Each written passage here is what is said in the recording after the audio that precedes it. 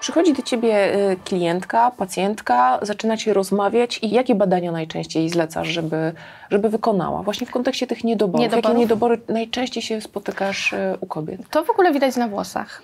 Jeżeli ja robię trichoskopię, to ja widzę, że są niedobory, dlatego że te włosy nie będą mniej więcej tej samej grubości. Zwykle też kontrolujemy w kilku miejscach na skórze głowy, dlatego że tutaj mamy jakby koronę, która jest hormonozależna od y, niedoborów, też e, te włosy mogą być ścieńczone, ale jeżeli na potylicy mamy również ścieńczone włosy, to wiadomo, że wtedy już hormonalnie to nie jest i będą tutaj niedobory.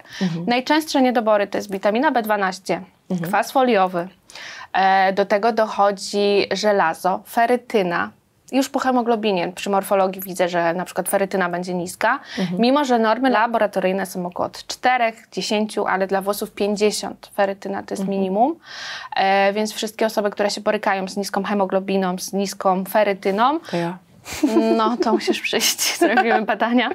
E, do tego jeszcze też dochodzą właśnie cynk, miedź, selen, witamina D3 której wszyscy w zasadzie mamy niedobory. Tak? To są takie podstawowe badania. Czyli tak, witaminy z grupy B, które są ważne za podziały komórkowe. B12 kwas foliowy, bo kwas foliowy to jest witamina B9. Do tego żelazo, ferytyna, tylko że żelazo mówi nam o tym, ile mamy w danej chwili, a ferytyna mówi nam o tym, ile mamy zmagazynowane. Co się też przekłada na hemoglobinę na przykład. Tak?